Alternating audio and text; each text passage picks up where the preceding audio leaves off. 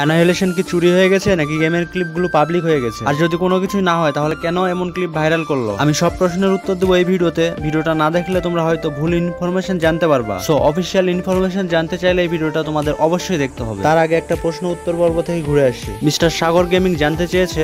ভাই, আমি free fire খেলি। যখন প্রথমবারের মতো আপনার ভিডিও দেখলাম অ্যানাইলেশন গেম নামে একটি গেম বাংলাদেশে বের হবে। তারপর থেকে আমার এই গেমটি খেলার প্রতি অনেক আগ্রহ বাড়ে। এই গেমটিতে কি গ্রাফিক্স থাকবে ফ্রি ফায়ারের মতো? আলট্রা স্মুথ আশা করি পরে ভিডিওতে জানিয়ে দিবেন। হ্যাঁ অ্যানহাইলেশন গেমের আলট্রা গ্রাফিক্স থাকবে যা তুমি স্মুথলি প্লে করতে পারবা। তুমিও যদি অ্যানহাইলেশন সম্পর্কে যে কোনো প্রশ্ন জানতে চাও, তাহলে আমাকে বলতে পারো কমেন্ট বক্সে আমি পরের ভিডিওতে তোমার প্রশ্নের উত্তর দিয়ে দেবো। Hello guys this is me from Custom Series and welcome back to my another video ফিরে আসছি ইন্ট্রোর পর।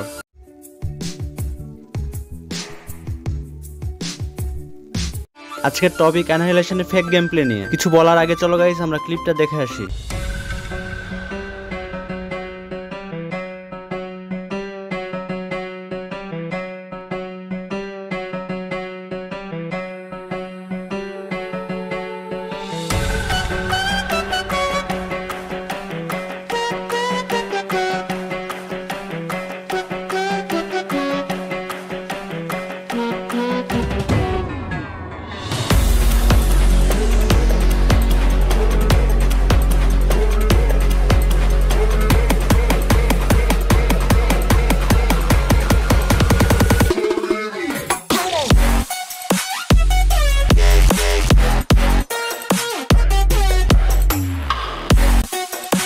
এটাই হচ্ছে অ্যানাহিলেশনের ফেক গেম প্লে ক্লিপ অনেকে এই ক্লিপটা দেখে বিশ্বাস করেছে, এটা অ্যানাহিলেশনের official game play clip Annihilation গেমের কোনো ডাটা চুরিও হয় নাই, আবার কোনো সিক্রেট ফুটেজগুলো পাবলিকও হয় নাই। সো এটা নিয়ে হরতাল করার কোনো প্রয়োজন নাই তোমাদের। যে ক্লিপটা আমরা দেখলাম কিছুক্ষণ আগে, ওইটা হচ্ছে সফটওয়্যার দ্বারা মডিফাই করা। তুমিও চাইলে প্লে স্টোর থেকে এরকম সফটওয়্যারগুলো ইনস্টল করে মডিফাই করতে পারবা। আর এটা অ্যানাহিলেশনের সাথে কোনো সম্পর্ক নাই। যারা গ্রুপে পোস্ট করেছে ক্যাপশনে দেওয়া ছিল ফ্যান আর্ট ক্যাপশনটা যদি তোমাদের চোখে পড়তো, তাহলে এরকম গুজবে কান দিতা না। তো এখন আমাদের মনে প্রশ্ন আসতে পারে, যদি এরকম ফুটেজগুলো ফেক হয়, তাহলে গ্রুপ অ্যাডমিন কেন অ্যাকসেপ্ট করেছে? যেহেতু তারা ক্যাপশনে দিয়েছে ফ্যান আর্ট আর ফ্যানরা নর্মালি এরকম পোস্ট করতে পারে, এটা নর্মাল ইস্যু এটা নিয়ে কোনো সিরিয়াসলি নেওয়ার কোনো প্রয়োজন নাই। তো গাইজ এখন তোমরা বলতে পারো, এই স্ক্রিনগুলো কি অ্যানাহিলেশনে আসবে? যদি অ্যানাহিলেশনে ক্রিয়েটরদের স্ক্রিনগুলো ভালো লাগে, তাহলে নিয়ে আসার সম্ভাবনা আছে। বাট আমার মনে হয় স্ক্রিনগুলো না নিয়ে আসার সম্ভাবনাই বেশি, কারণ তাদের ক্রিয়েটর আছে ডেভেলপার আছে, তারাই হয়তো অ্যানাহিলেশন স্ক্রিনগুলো ডেভেলপ করবে। বাই দা ওয়ে অ্যানাহিলেশন গেমটা আসবে তিরিশে এপ্রিল, আর তিরিশে এপ্রিলের আগে হয়তো পঁচিশ এপ্রিলের দিকে লাস্ট একটা টিজার আসবে হয়তো।